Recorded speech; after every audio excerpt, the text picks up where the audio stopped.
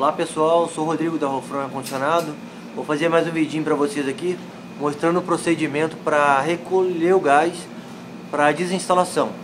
Você coloca, você tira as tampinhas, o equipamento já está ligado lá, a temperatura mínima. Aí você coloca o, o manômetro aqui, ó, a mangueira do lado esquerdo, que é a de baixa, você põe na válvula maior, que é a de, de baixa. Aí você põe, aí você vai acompanhando a pressão. Aí o aparelho está ligado lá. Aí você vai pegar e vai fechar o, a válvulazinha, a de alta, aí a descarga. Aí você fecha ela, vai fechando.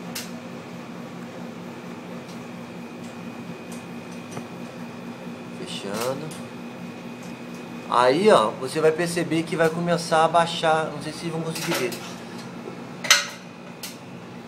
Então, um reflexo aqui, ó, ele vai começar a baixar. Aí baixou, você fecha o outro rapidinho. Acontece, caiu a chave aqui. Ah. Aí você fecha lá rapidinho. Fecha. Fecha bem rápido. Aí depois você vai cortar o fio da alimentação.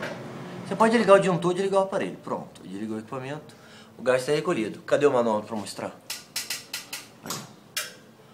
O gás já foi todo recolhido para dentro da condensadora. Aí agora você não jogou o gás na atmosfera, você não destruiu o meio ambiente. E fora isso, quando for reinstalar em outro lugar, o gás já está recolhido. Beleza, pessoal? Qualquer dúvida aí, pode perguntar aí nos comentários que na medida do possível eu respondo. Falou pessoal.